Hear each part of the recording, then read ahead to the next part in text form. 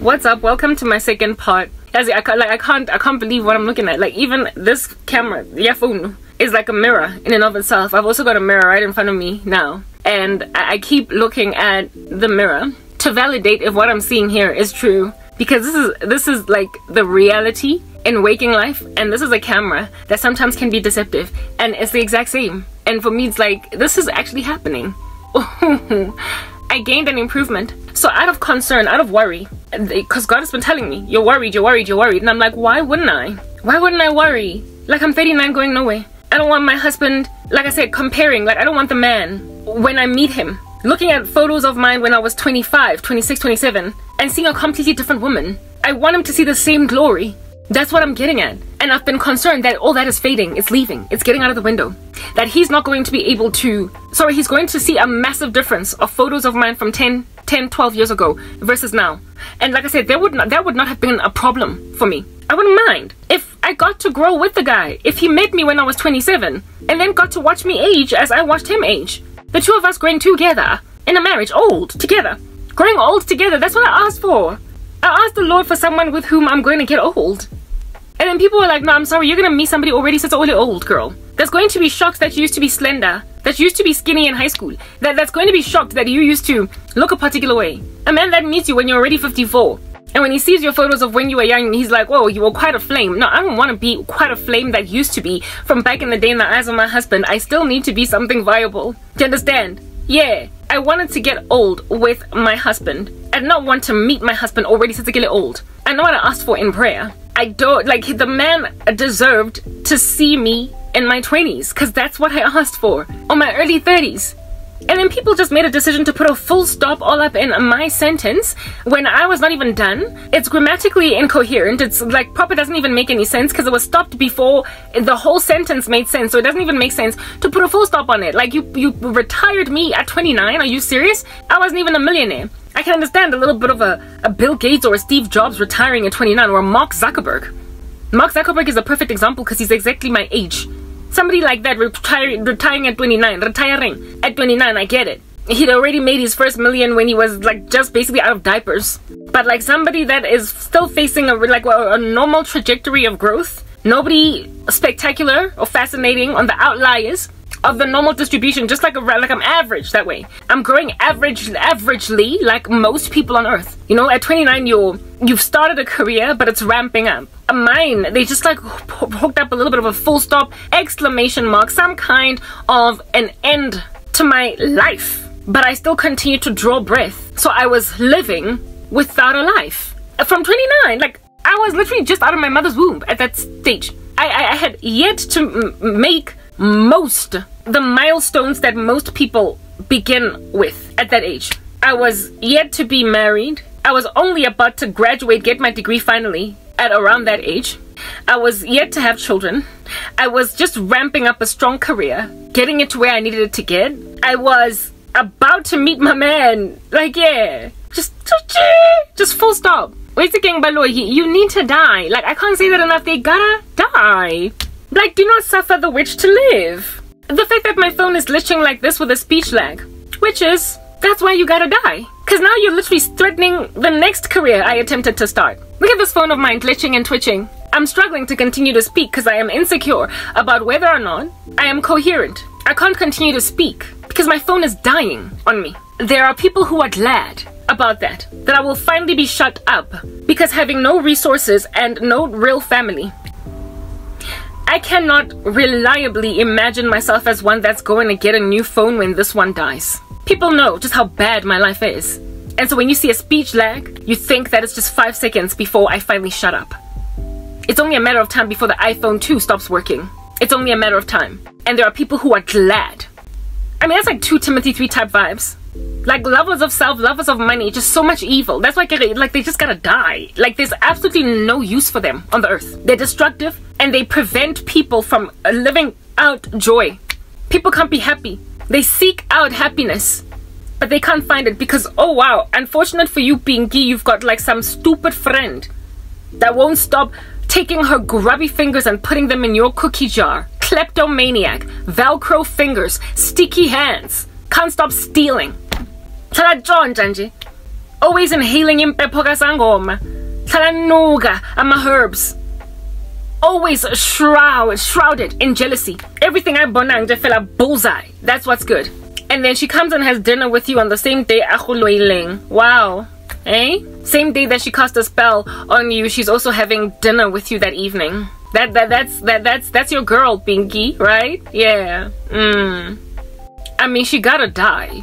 Is that basic? They won't repent. When they get busted, they get angry. They get mean. When they get found wanting, they not only deny it, but they will gaslight the living daylights out of you and talk to you like what Shanya. Some of them will even go out of their way, like what my cousin and my sister and my mom try to do. Mm. To say you're crazy to a point of throwing you into a psychiatric hospital. Do you know that that's what they did to me?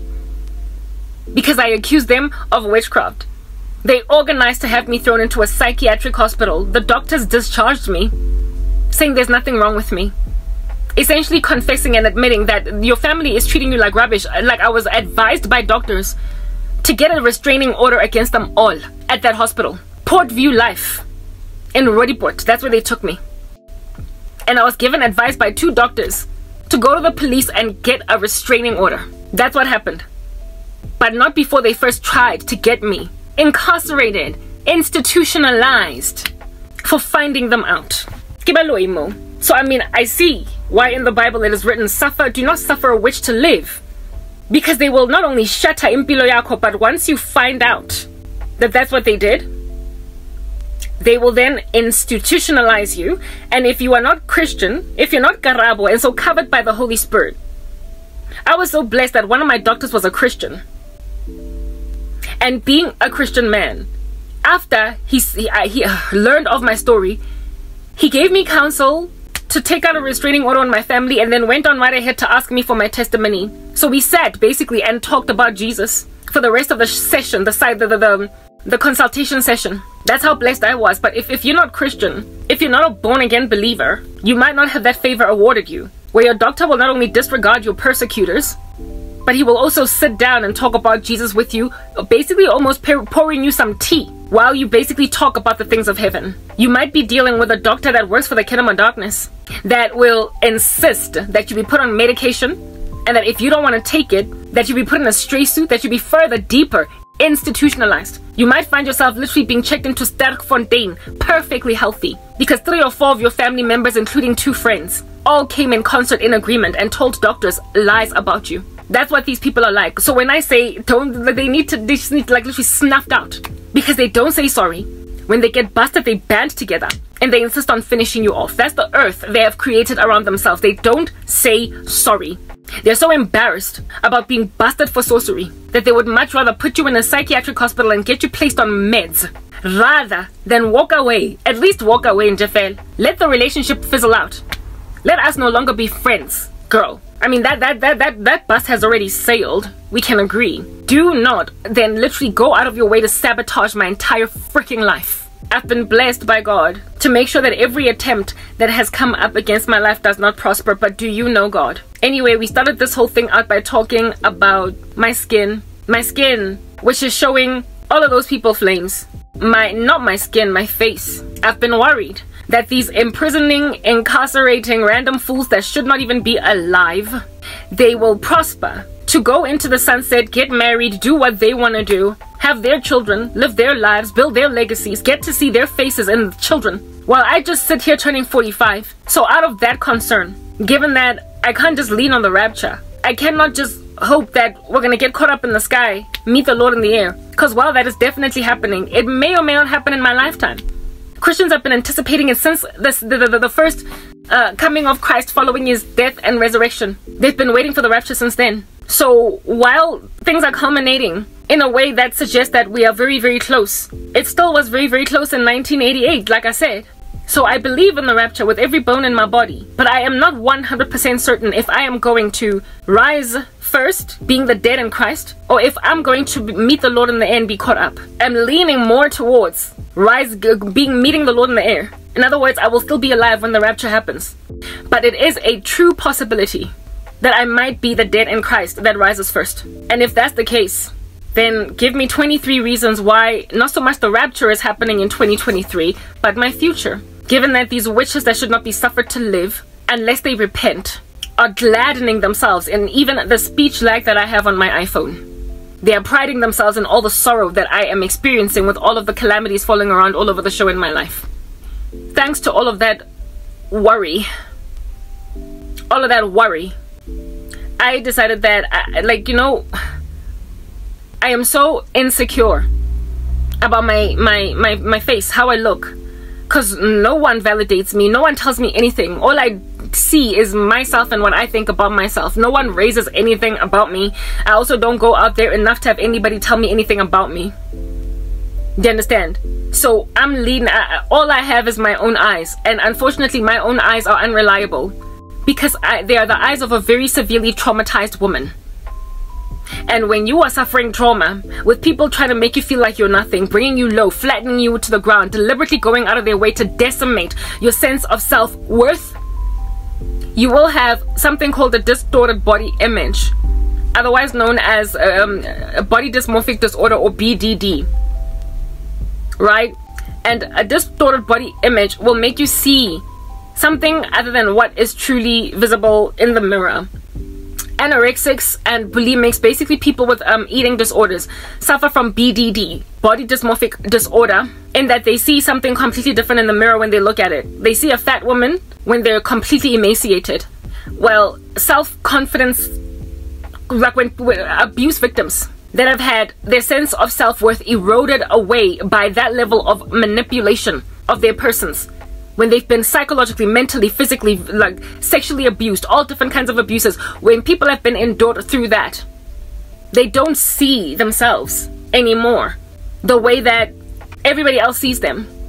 They don't see what everybody sees. And so, because of how tanked their self esteem is, they tend to settle for some pretty horrific things in this world. If you look at women that have a history of sexual abuse, if you look at some of them, not all, some of them, the men they settle for, the men they end up married to, it's like you like this woman could be so incredibly gorgeous.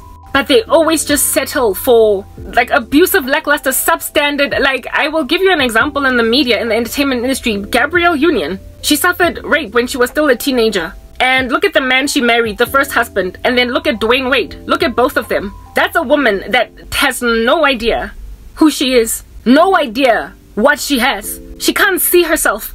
And when you can't see yourself, you will let anything take you. You will let anyone take you. So, absent of getting healed thoroughly and comprehensively from that trauma by a holy God that can give you everything that you deserve in spite of what you've endured, you will settle you will settle, guys. And uh, a lot of, unfortunately, we live in a world full of exploitation. We live in a world full of capitalism.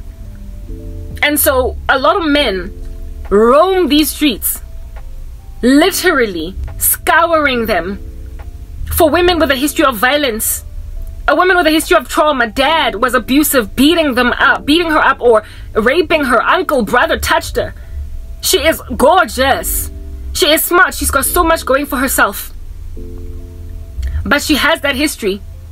And absent of her finding healing, proper healing, don't come tell me about somebody putting a band aid on cancer or spraying cologne on a corpse through therapy sessions that aren't gonna help, that aren't truly gonna heal, help them truly overcome, conquer, like using psychological methodologies to deal with a spiritual issue like demons of rape, demons of abuse, whatever it is that comes in spiritually. Person goes through years of therapy and they come out on the other side uh, even more discombobulated than before. I'm talking about real healing, true healing in Christ. True healing in Christ. Absent of people finding true healing, you will find some of the most glorious women I'm speaking about women right now. Of course, the thing can go both ways, but I'm a woman, so I speak from that vantage point.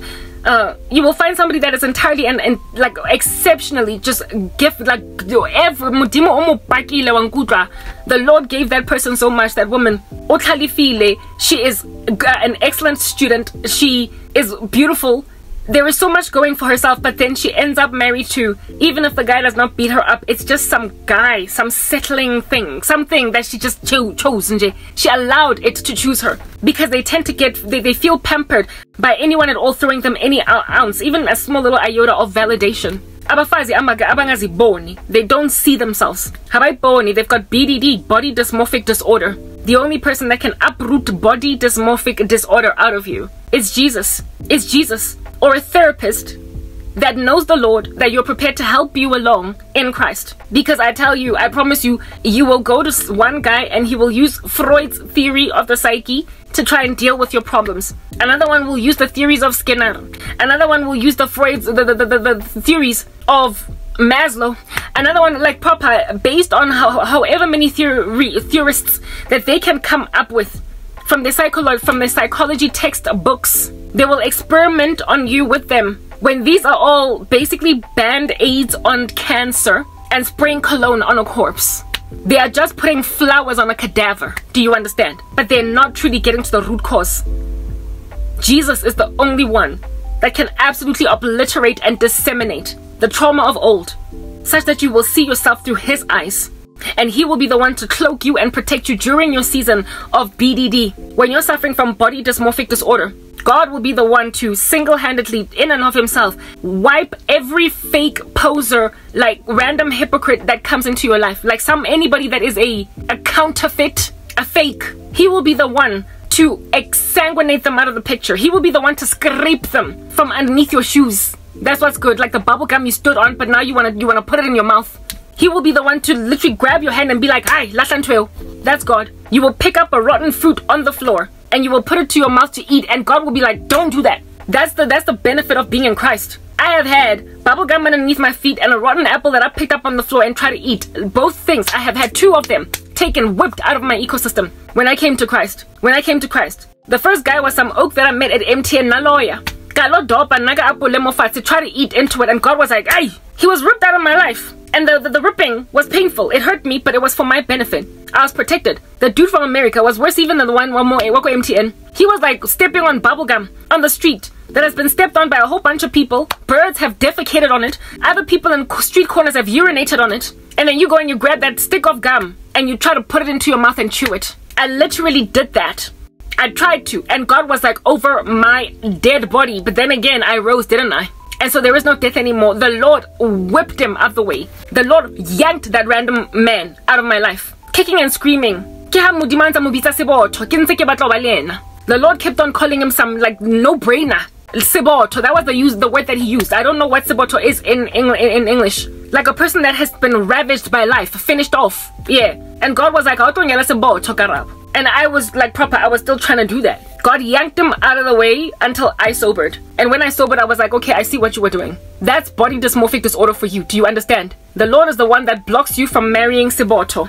The Lord is the one that blocks you from eating rotten food that you pick up on the side of the street because you think it's still healthy to eat. The Lord is the one that identifies an exploiter in your face, a capitalist, somebody taking for granted the situation at hand, realizing that he has found a diamond in a rough, a treasure trove, realizing that he has found essentially that which other people have yet to identify the glory of, and quickly snatches you, marries you, next thing you're in the household of the bubblegum you picked up on the floor. And now, when you're married to him, nobody can tell the difference between the two of y'all. You now both look like bubblegum underneath people's feet because this guy's brought you down to his level. Nobody can tell the difference between the two. And so basically you get downgraded. Essentially as a woman, you're the one that gets downgraded. And like I said, this thing can go both ways with men and women alike. But largely it's it's uh, you know, men tend to also be the ones that exploit suffering from women because women are often put in a position to be little damsels in distress in a way that men aren't men gotta survive when life hits them, whereas women sometimes survive through being taken up by men. They survive through having men decide to take care of them, put them in their own households. But if this guy that's trying to play knight and shining army, armor to Cinderella, if he is the scum of the earth and a devil worshipper, yes, like it, then this woman is in a bit of a bad bunch, is she not? Is she not? So, because of having BDD or body dysmorphic disorder or spiritual body dysmorphic disorder, when you don't see who you are, the first thing is that God will block you from marrying badly. He will protect you when you don't know you need protecting. until you look in retrospect and realize that, oh, he had your back when you were still growing in grace, when you were still recovering from your wounds, when you were still being healed, when you were still being patched up. He protected you from basically being picked up as a diamond in the rough by somebody with some pretty grubby fingers, by some dude with a kleptomania issue, by some okie with velcro hands that stick to stuff and he then runs off with it, runs off with it. The Lord will protect you from that infiltration while He is training you up in wisdom. That's what happened to me, and I'm grateful. But there comes a time when, as a woman, you eh, basically, in and of yourself, recognize, you have to realize that God doesn't want certain people in your life.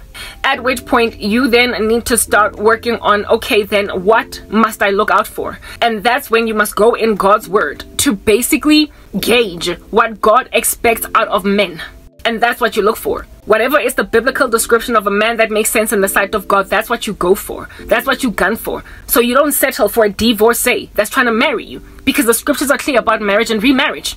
You don't settle for a guy that's got five different baby mamas and you then can't even stop to ask yourself, why didn't you marry the first one, the second, or at least the third? Why are all of them just your baby mamas? I had a friend, my best friend, my former best friend, who married a dude like that with like five different baby mamas. And it's like, what? I guess you better feel grateful that he made out of you the wife. You were baby mama number six, fine.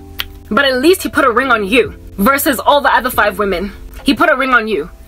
When you give your life over to the Lord Jesus Christ, he blocks you from marrying some baby daddy of five.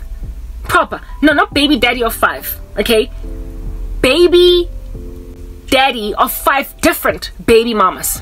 Like, there are so many uh, ways to check, according to the scriptures, what makes sense. So, first, you get supernatural protection against your own will. Osabatli, kicking and screaming, God will protect you anyway. And then there is wisdom and discretion that you apply as you grow in grace and as you accept that there's certain things that God does not want in your life.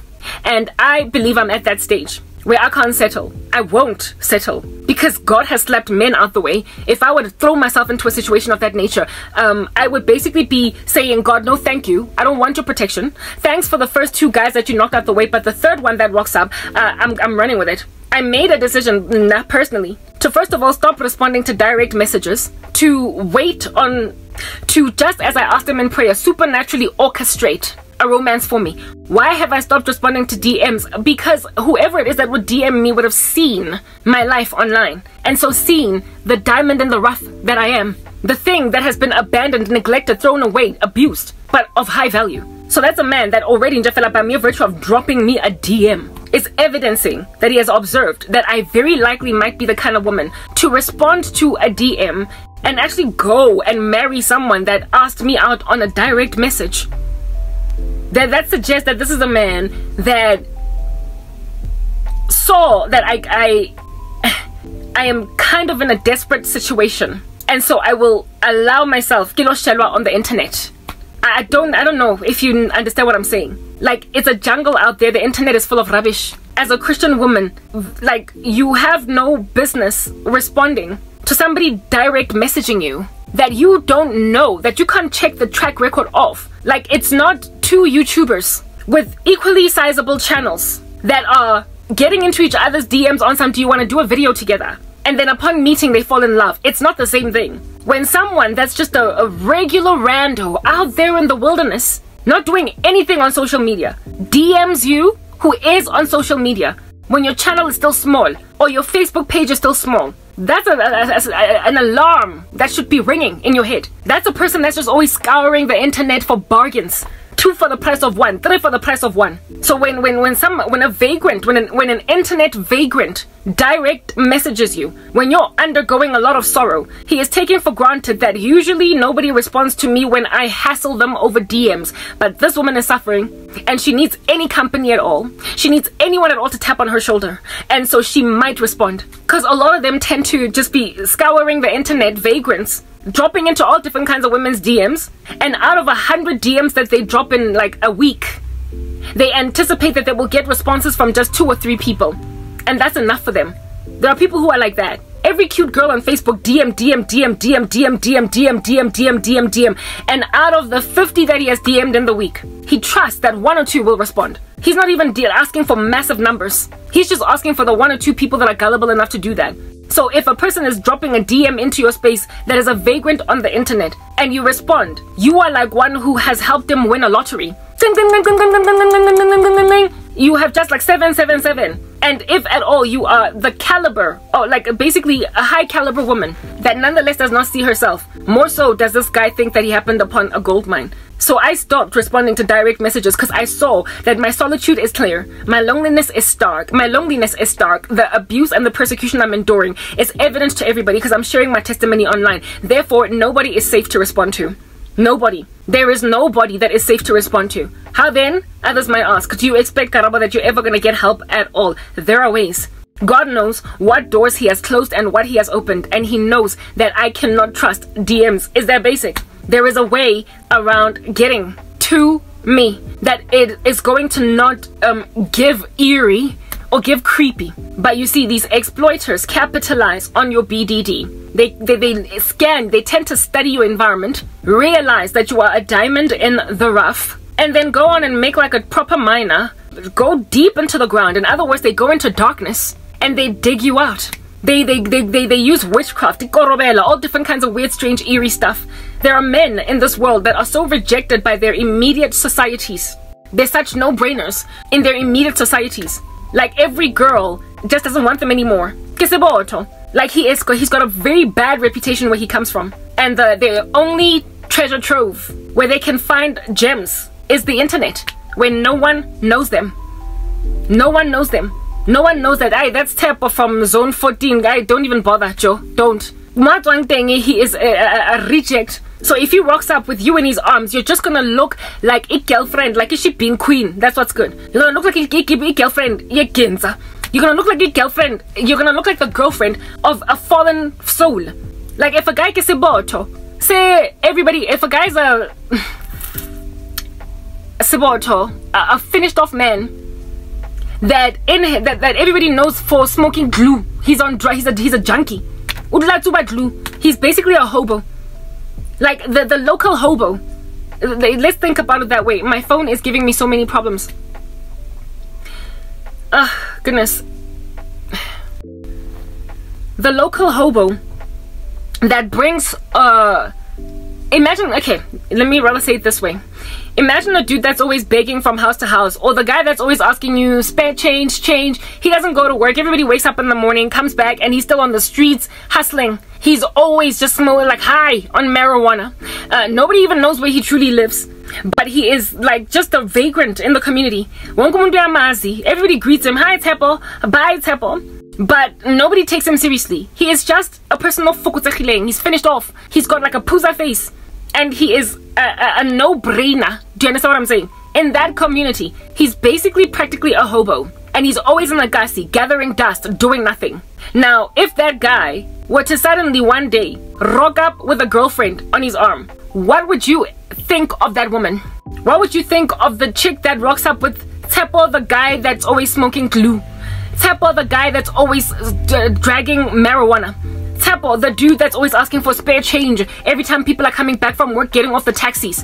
What the Tepo, the guy, uh, or that or, his skin has gone completely dark because of drug use. Where when when uh, when Tepo suddenly brings home uh, to his kasi, what are you gonna think of her? The woman that is holding Tepo's hand, what are you gonna think of her? You are going to think that ah, Tepo probably one day when he went to the Shebeen picked that girl up. So you're gonna see her as just another drunk another chick with another person with whom Tepo also takes drugs. The two of them like drag on marijuana. Bali too. They they spend the day, the day all day together in in the kasi. In these very circles where everybody's busy ruining their lives, squandering their inheritance. Essentially, as a woman, you stand the risk when you settle for any of these guys. You stand the risk of being literally looked at as Ishi Bean queen. Some random chick or dope Inja, but that in his own community is well known for what he is, but you come from out there. You're not from his community. You're not the person getting off the taxi after work with type of being like, hi, mom, like Togo, uh, do you have maybe like a five rand? Yeah, no. You're not the person that knows tap once am I kanti now what do you do with the money every day? I'm not the five rand that you just keep on like uh, parting ways with. You're not Mom Togo, you're not Sis Belinda. You're not Oslerato. You are not you are outside of the circle of influence of Tepo. And so when Tepo cleans up a little bit to come to a date with you, having met you online, you will think he's a reasonable guy until he brings you around his neighborhood and everybody now is underestimating you because you're with him. You're just another Shebeen queen. You don't want your stats to tank like that. You don't want some man to tank your statistics. And when you've got body dysmorphic disorder, you will walk around with Tepo, the Tepo the Saboto. Tepo the Saboto, you, do you understand? You will walk around with him and it'll take two, three years, or maybe you giving him his first child for you to wake up and notice that you frankly made yourself a Shebeen queen by simply being associated with a Shebeen king. You will wake up and see that his whole community, next, but by then you're already his baby mama. By then, you're already his wife and now you're a couple, a Shebeen couple. Ke seven piece ya boitshuko kasi. Le rekise bojwala once and for all. How about you just do that? Some of these men are that finished off in their own communities and they will slide into your DMs knowing that mobile thing abahono shella with ease given that all the girls avoid them like the plague but you don't know that you don't know that and when you're suffering more so are they in a position to give you money they can provide for you you will let this guy help you along that's what this guy from America was like. But God scooted Siboto Satenge out of the way because I was suffering from body dysmorphic disorder. I still have BDD, but my perspective has been corrected. I know I need to wait on God. I don't know what for. I will know when what comes my way that I'm supposed to embrace is here. I know that I will know because I serve a faithful God. But in the run up to, I'm insecure. In the run up to, I'm self doubting. I'm self defeating. In the run up to, I don't know whether I'm coming or going. So when I look, most beling, all I see a lot of days is this woman that's just getting old with nothing. I see an aging face. I see an aging body. I see an aging everything. And I'm freaking out that when my husband comes, if that's what's gonna happen, if not the rapture, is he going to see a woman whose former glory was greater than her present glory? I'm not ready to lose my former glory because I don't have anything to show for it. A lot of women get married when they're still in their prime. I have gone past mine, at least chronologically. Biologically, too, apparently, allegedly, I'm geriatric. Being that I feel as old as I do, I started going on the internet to investigate ways to reverse aging. Ways to reverse aging. Do you understand? Over and above, you know, treatments like retinol, vitamin C, uh, you get my point. Niacinamide, tretinoin. Oh, never mind topical skincare actives. Y'all know I've, I've, I've been there, done that. That whole, I have explained my skincare routine in one of the videos that I did recently.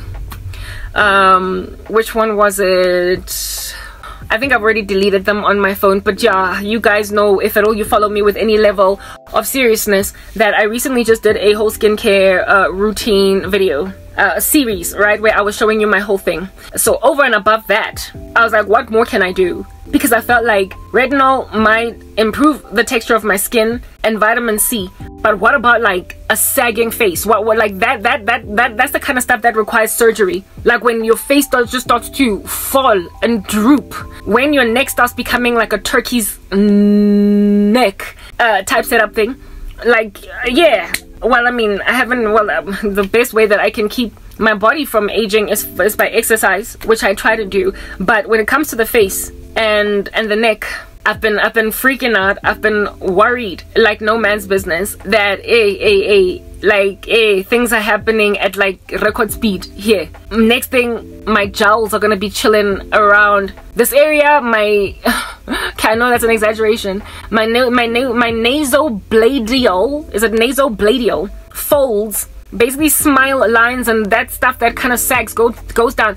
I can't, I keep looking in the mirror every night when I'm watching either Netflix or when I'm in the bathroom after washing my face or whatever in the kitchen making um, preparing dinner the microwave that has a mirror on it like the the the surface of the microwave is reflective but it's opaque. Even though it's opaque you can see your face in it. Eh, like the surfaces that I look into I'm always just looking a- a- into the grooving, like, you know, smile lines, my jowls dropping. Guys, like, I've got a severe case of body dysmorphic disorder. Like, severe. Like, I feel like, I, yo, I've got two photos back there of me when I was a kid, like when I was 20, 21. And I keep looking at those photos and comparing to now. And on some, what's changed? What's changed? What's changed?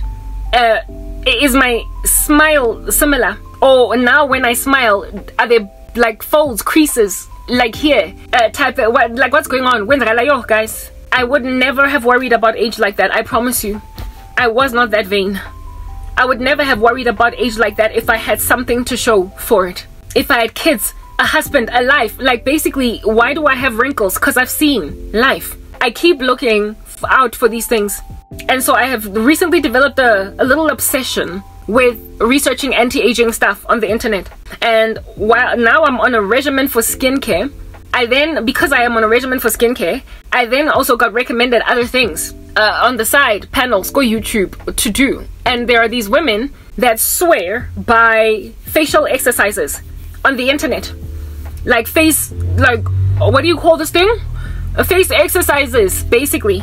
I work out my physical body and i know how painful muscles get when you're working out to a point where you gotta stop now. Whoa like what's going on? So i've never believed in facial exercises because i have never been hurt or felt sore in my life before. Doing basic things with the face like smiling laughing really hard or pulling a funny face. Like i've never ever felt muscle pain on my face ever. From basic facial movements and even when you go to the extreme of pulling a funny face. Uh, so I I never be uh, so essentially what I'm trying to explain to you guys is that I didn't believe in face exercises doing anything because I did not even think it was possible to work out face muscles in the face the way that you can work out muscles on your body and so therefore get toned body like a toned thigh toned calves. I can I swear by toning of the body but I could not for the life of me swear by toning of the face. So one of these days I was like let me see these these women on the internet what they're talking about. And their views were just ridiculous. They were like quite astronomical. As my phone and the speech lag it's it's troubling me so so much. But anyway i'm eventually gonna finish off this whole discussion because i think i already did um half an hour now. I'm, I'm doing the next half an hour then i'm done right? I'm only doing two parts. There's no need to do more than that type establishment thing.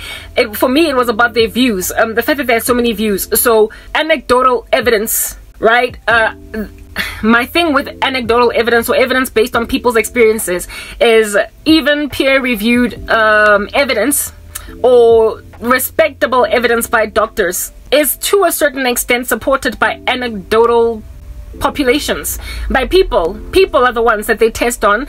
Um, so i run with um, advice that people give because people are the ones that actually inform even medical journals. You know the the, the the findings therein are in are based on how it is that they made observations on human trials. So i run with it. So for me when when when somebody has got like 2.5 million views on a video where they're doing strange little movements with their lips. Ah, for me, it's like, okay, if this thing was a sham, if it was a joke, if it was a teaser, if it didn't make any sense, 2.5 million people would not have watched it. It would not have been that proliferated. And on top of that, like before I even watched these videos, I, I googled do face exercises work? And a couple of board certified doctors, dermatologists, were like, guys, it's anecdotal. Like they, they what they say is that this is what these people say. If you want to do it, do it. But there's just no research behind it. There's no research. There's no studies.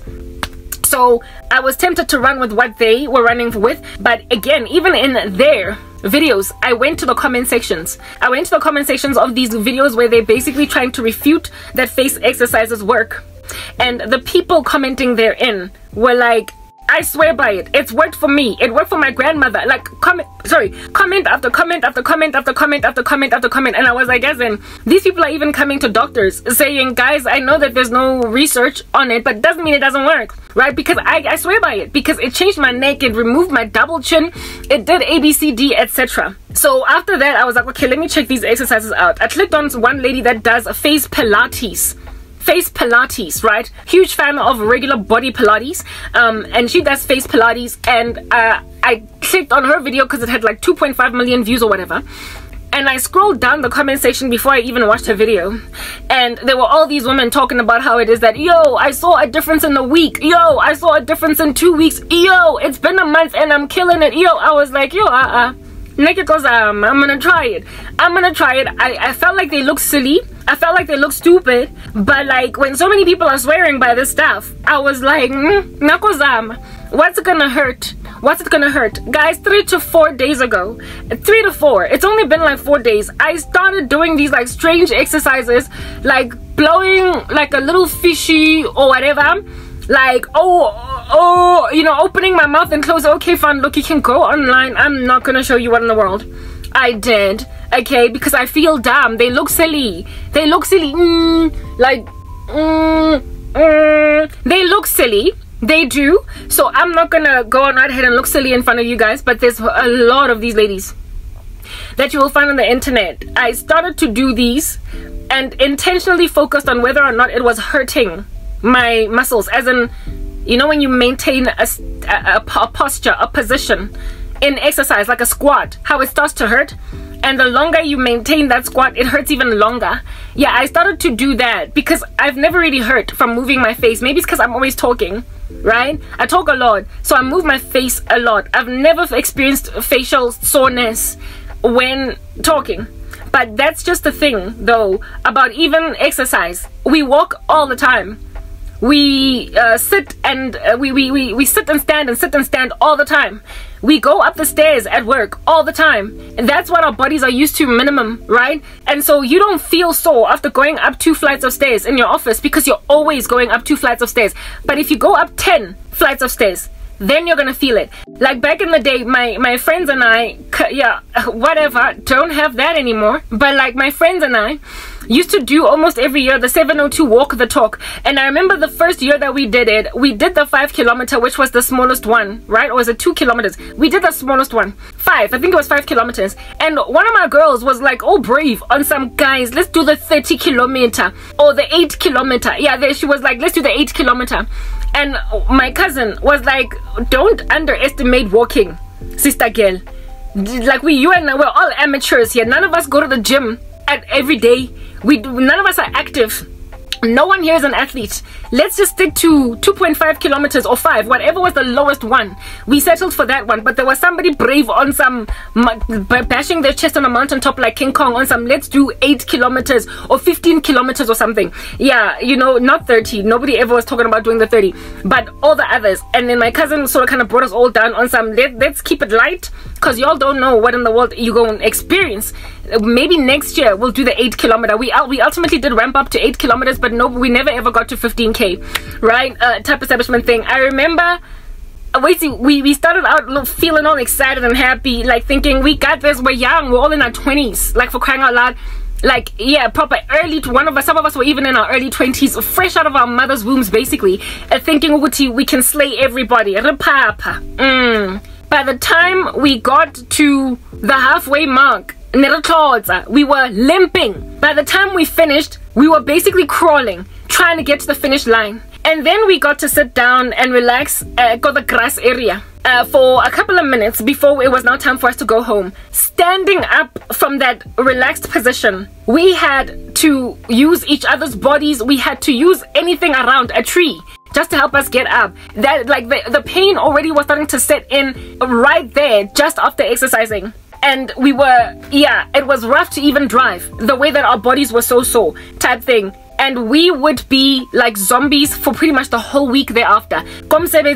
Like it was just a rough waking up sleeping. Like you know when you've worked out for the first time at the gym you were lifting weights. At night when you're sleeping you will get woken up by tossing in your bed twisting to face your body the other side. You will be woken up on some you will feel it you will feel it, you will get out of your sleep just because you wanted to move from the left side of the bed to the right. We were like that in the office from walking. We were not running, we were just walking. Something that we did all the time. I personally had been walking up and down campus, Kovitz.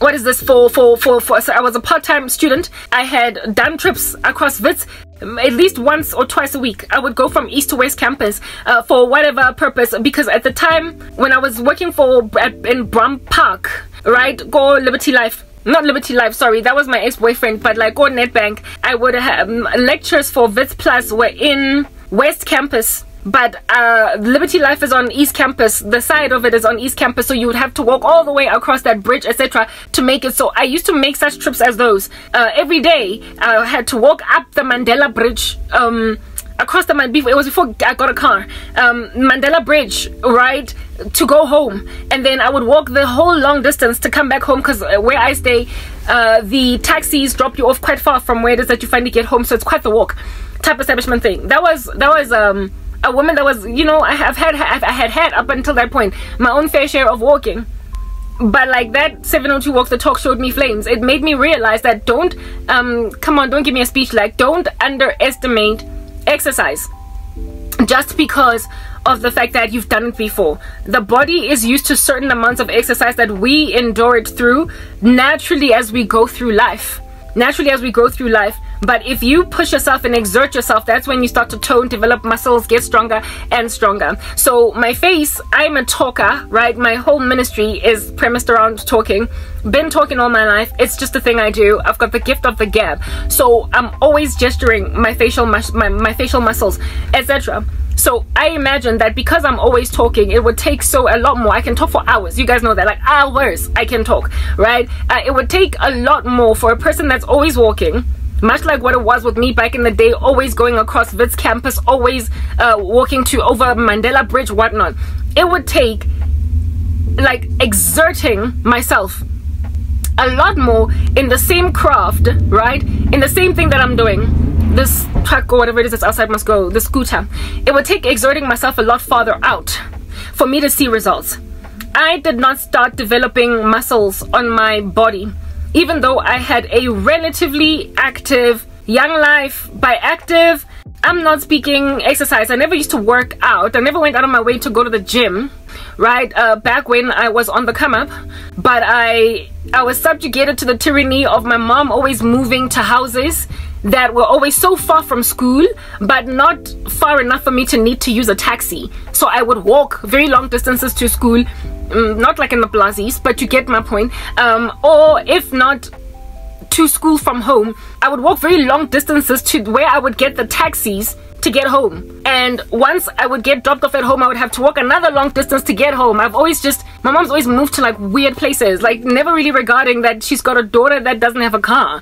Anyway, whatever. So I've been active for those reasons. I've been getting burned by the sun even though I was trying to duck it all my life due to the fact that I've been work- walking a lot more than the regular teenage girl does because of where my mom always used to live. It was always just so far from everything. Uh, and then once I got out of my teenage years, I was always walking really far and really fast to taxis to my offices that were also strangely buried in little corners. Um, instead of just like right there. I, have never worked for a company where a taxi drops me off right at the door. Like i've always just walked. Like it's i don't know what's up with that. I think it was god. It was grace. I had to be fit because i was lazy so I guess that's how God got me working out back in the day because it, it gave me a boost. honestly. So um, that that's what's good. But however, when I was at MTN, I made an, an effort, given that it also came highly recommended by the company, that rather use the stairs instead of using the lift. You know, uh, for your so for your own health, but also for the um, energy of the company like save power instead of using a lift like proper just use the stairs guys if you can. Don't go up one flight of stairs. Plus don't irritate everybody in the lift by going up just one floor etc type thing. So i always used to use the stairs and mtn was a very big building. So you would walk uh, uh, multiple times across like phase one and phase two across that bridge just to get to like one meeting etc so it was somewhat of an active lifestyle. For somebody that is used to walking that much running after taxis running after whatever walking across campus if at all you want to see any improvement at all in your weight losing weight or if you want to see any improvement at all in your body in terms of toning of your muscles you're gonna have to exert yourself beyond a person that is just sedentary always just sitting. Not always using the lift. Barely moving an inch. Always getting into their car as soon as they are out of the office and into their house as soon as they are um what is this? They're out of the car or into the store and back into the car because they always make sure that they wait for a parking spot that is right by the store. People like those those sedentary guys, it will take once they start going to the gym, you will notice that they lose weight very fast. And they also start to tone if at all they've got that kind of a body. They tone their muscles a lot faster because their their, their bodies are just in, in like in constant atrophy. Near on atrophy. Their bodies are, are near are always constantly near. Muscular dystrophy essentially that's what's good. These people are like that. And so their bodies immediately just kind of they get re-energized juiced fast because they are not used to a certain level of activity. But if you've got a lot of activity going on in your body already, uh, you, it's going to take a lot more for you to really tone. You're going to have to push yourself, exert yourself a lot farther at the gym because you already have got a baseline. You um, uh, what is this equilibrium? There is already a baseline level of nonchalant, la da fitness in you just by mere virtue of having the kind of lifestyle that you have. So when I started exercising, working out, it took me so long to see results. Yo, I, I never thought I could ever build muscle, like ever, because it took so long for me to see any muscle development. Because my muscles were already lackluster looking from quite a bit of activity that I was doing. I had to really push myself. That's why I ended up working out for two, two and a half hours at some point every single day. I was striving and striving and striving, but the moment I saw the smallest little muscle development, the smallest little growth of muscle, that's when I went in hard. The reason why I pushed to that many hours of exercise is because after a very long time, I finally started to see muscle development and that's when I pushed. Uh, it's also one of the biggest reasons why when I'm exercising you barely see any facial expressions on my face. Um, I look like I'm not even breathing. It, it takes quite a lot for me to get to a point where I feel like I'm really exerting myself. That's the reason why. Yeah. So that's like, yeah. And, and when I don't do all of my hours, I feel defeated and stuff like that because it takes so much to build me. I believe one of the biggest reasons why that's even the case is because I had a baseline of quite an active lifestyle as a kid well active-ish for someone who doesn't go to the gym uh, yeah um, well i realized that the same thing is likely true as well with my face in that i'm always talking my ministry is premised around talking i can talk for hours on end two three four parts. And yeah it is what it is. So, so uh, talking is a face face exercise. You understand? So in order for me i imagined to benefit from face exercises i would have to do a lot more than just the regular person on the internet is doing because I already use so many of my face muscles every single day. And I'm also quite animated in the way that I talk. I, I gesture a lot etc I also sing a lot and whatnot. So I imagine that if your body is anything to go by you take forever to build muscle on the body.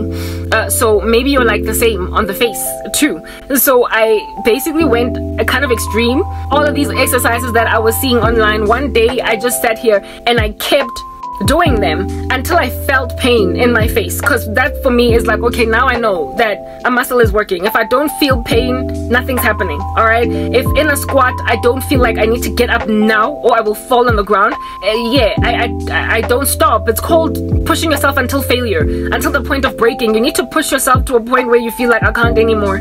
Well I basically worked out my face muscles till failure if that makes sense at all I worked out my face muscles until failure I did some whatever it is that they were doing on the internet, but I wanted to feel myself getting you know, uncomfortable. I had to feel sore. I had to feel sore. I couldn't just run with, you know, a little fishy exercise or a little swallowing exercise or whatever and, and not feel anything. Because then on that day, it's like, if at all my, my, my body's, my thigh muscles don't go anywhere, when I do a squat for two seconds, then I guess my cheeks muscle, my cheek muscles will also not go anywhere. If I do a facial exercise for two seconds, I gotta hold it a lot longer. And that's what I started doing. And um, the first day I, I felt pain around like this area, my cheek area. You guys know, like two days ago I came here and I told you about some sunscreen application process because I had that white casty sunscreen. That's the one thing that I feel like has also helped along. But more than anything, it's the face exercises that I've also noticed the improvement of.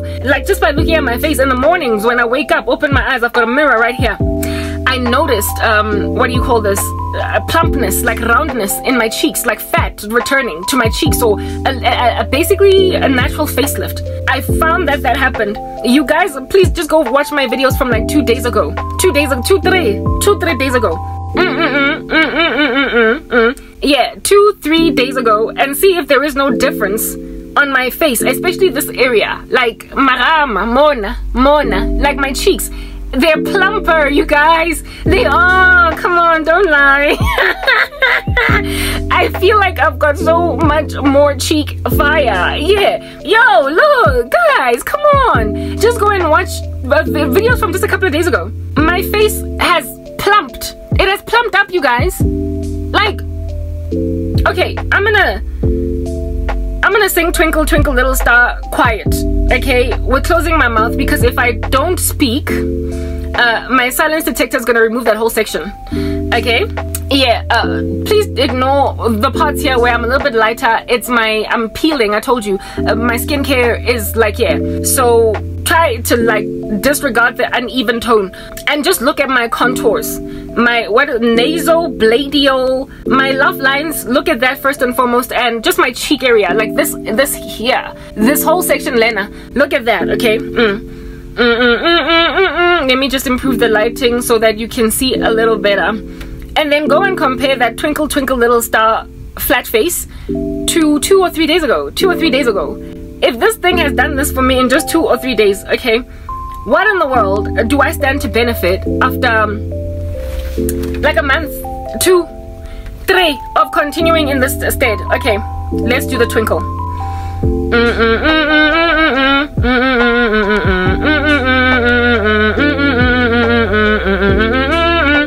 Again, this section over here is gonna is slightly lighter. I bet you can see that, right? The treatment that I'm using for my face, that's removing the hyperpigmentation. First started to peel around my my chin area.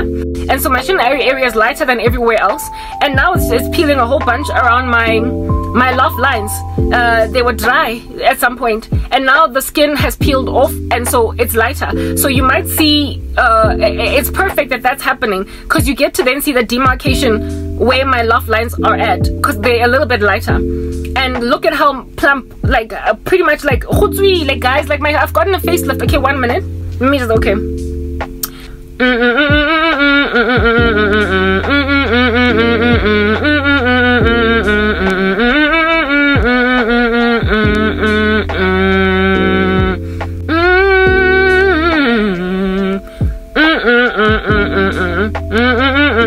That is as relaxed as my face can get. I'm not trying to, you know, lift anything up or whatever. Um, and I believe that that whole facelift, mild mini natural facelift that happened in just three days, um, is because of my facial exercises. I went extreme. I, I, I pulled a fishy face and kept it there until I felt sore around this area. and also these I'm sorry I'm not gonna do these facial exercises. They are diaterisa and I mean if, if you are happy to look like a joke do you? But I don't want to look like a joke. I'm always doing like funny uh, like I get for crying out loud to not want that to be part of my funny bone. All right yeah. Funny little exercises. Looking up and then swallowing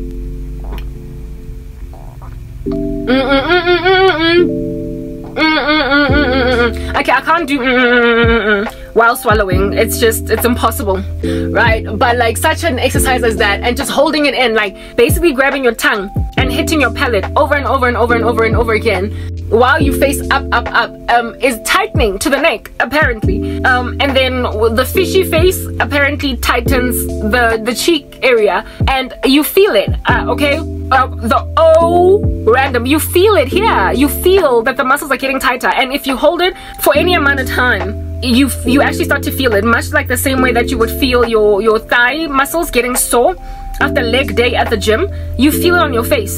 Uh, the ones that, that I felt the next morning, even when I woke up, were underneath my neck. Where the, that swallowing one, the one where you're hitting your tongue against your palate, up and up and up and up and up and up and up again. Yeah, the next morning when I woke up, it's almost like I had a sore throat. The way that my muscles around there were sore. That for me was like, it's an actual exercise. It's an actual exercise. I pushed myself, and after three days, you guys, I saw this. Like, I don't know if you can see the difference, but I'm literally plumper in just three days.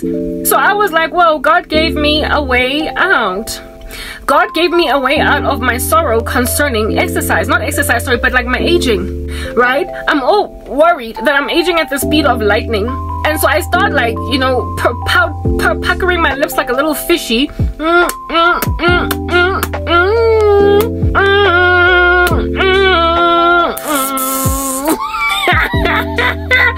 I started doing stuff like that while sitting around uh, watching um, Netflix, watching YouTube, watching, uh, basically doing my edits. I started doing that and it paid off in just three days, evidencing to me that God has not forsaken me, He has not left me. Evidencing to me that there is a way to even bring fatness to my cheeks that I allegedly apparently lost. I've never gotten such a plumping from what in the world plumps the face guys it, it basically has the effect of what do you call this thing botox but like in the cheeks like it gave me padding. And i don't really have a history of fat cheeks other than when i was a little bit chubbier. So i guess i'm getting something that i never even had before. Like i've never had high cheekbones. Yeah and i'm getting a little bit of you know extra cheek. Like what? Mm, mm, mm,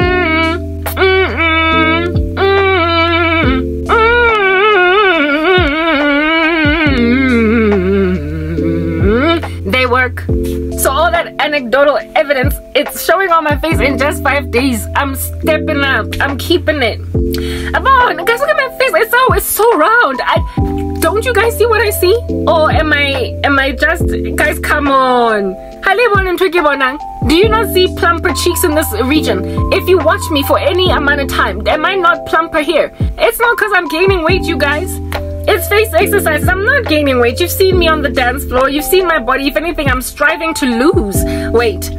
So this here is firming of facial muscles and it turns out that facial muscles tone a lot faster than the body because after just three days, these are the results. Like, guys, come on.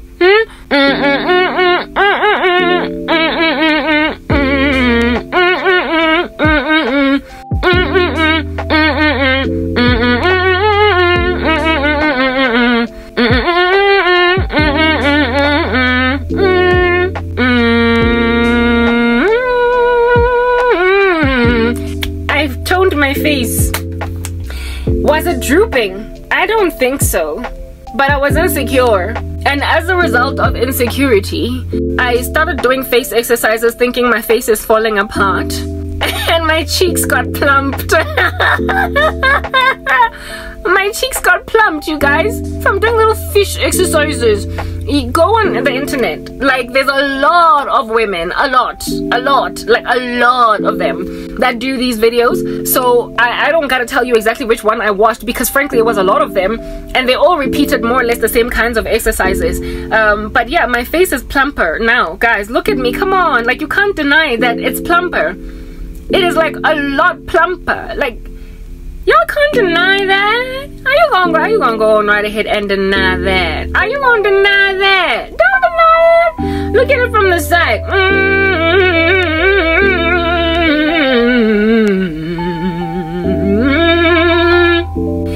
Kopaliska denying. My face has plumped out, meaning that I have a future. Meaning that this is the first reason out of the 23 reasons why I've got a future. Husband coming, and not so much the rapture. Like the Lord gave me a plump face because I was worried.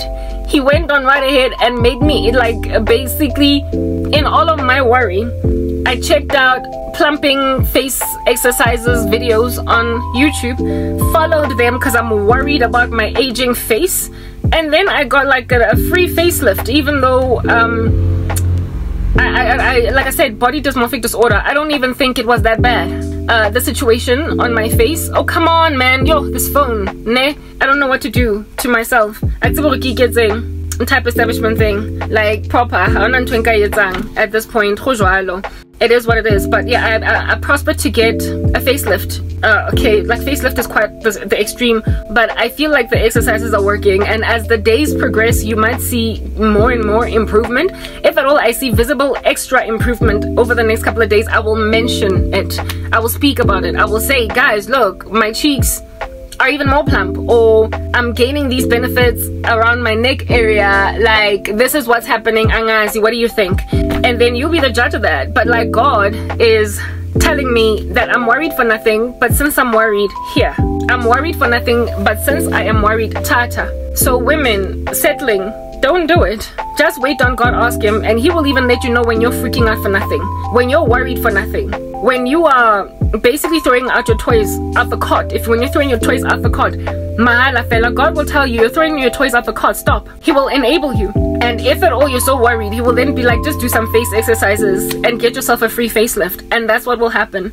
So 23 reasons why I'm getting married or why my breakthrough is commencing in 2023. I might not have 23 reasons right now, but I certainly have got one, and it's that I found a face plumping regimen.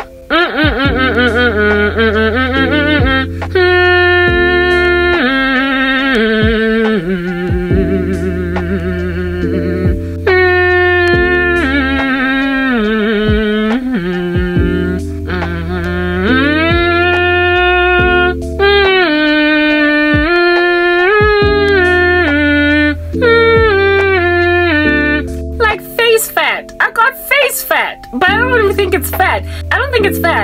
think it is? I think it's muscle, but it could be fat. You know why?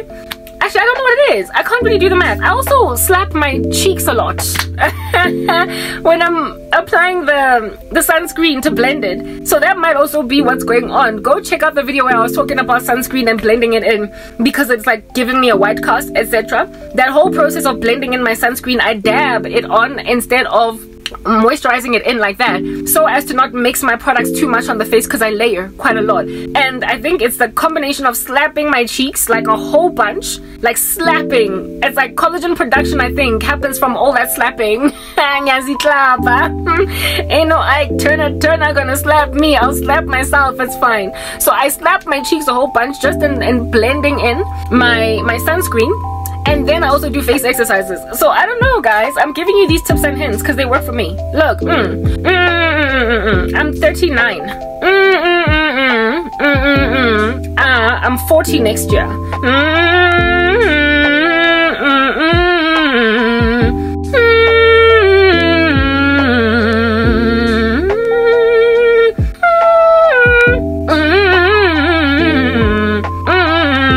That's my straight face and that's how round I'm out here looking. Um with all this face fat like yo botox a schmotox a poverty like really has helped me get stuff done to make sure that I never would have happened upon these lessons if I wasn't poor. So Romans 8:28 all things work out together for the good of them who love the Lord and are called according to his purposes. Just look at how round my cheeks are you guys. I'm born again. That's why my cheeks are round at 39 I was worried about them sagging, and God made on went on right ahead and and like ballooned like oh like helium helium in my cheeks, and now I got baby fat. Amen. Mama rameng bonang kinale. I hope you've been edified in Christ's name. Tlogelang o jola le bo put matlesa ba bora. Batla go patalla Botox. So Mara, you got Botox in a fishy face. Is that basic? Just go pout like a fishy girl. Mmm. Mmm. Mmm. Mm. Mm. Just do that for like three minutes. And then tell this guy put madle sang grand mina nge botox yako because grand shop jonga marama wam. Cake nari vanger. Ek is alright put madlesa ah. go back met your gusheshe in the corner there something I don't want you put madlesa ah, cause you've got ngolaza. I don't want you put madlesa ah, cause you've got demons. I don't want you put madlesa cause uthanda uthakatha put madlesa ngekorobela mina nge grand thatha le botox yakho. Grab alayi interventions but madlisa. Angifuni mina lama injection underneath the eyes mina to give me a boost. Angiwafuna ama lip fillers wakho mina but madlisa cause all i got mm, is the fishy face. I got a pout but madlisa jonga apha. Mm, oh oh oh oh oh oh oh Mangiceda put Matlisa from saying oh a million times bese ngiziklapha nge-sunscreen I get a natural facelift so angidinge yakho i-botox but madlis andiwadinga ama-fillers wakho but madlis andiwadinga ama-steroids wakho but madlisa ngiright ngiright ndizawuphawutisha oh oh oh ooh ooh Mancada bese ngisihlapha nge-sunscreen and then I'm good to go but madlisa so goodbye. Signing out in Christ's name Cran don't say i didn't warn you ladies. Batla go jonga ba go batle ka dm ko facebook. Flee. Be afraid. Be very afraid. Labo put mazisa bagcwele ngekorobela phuma kibo